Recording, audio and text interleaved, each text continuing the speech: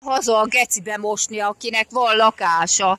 Itt egy román pali, egy román köcsög. Minden nap ide jár mosni. Itt Obányba. Ott a neve. Tehát nem kéne ezt a fasság.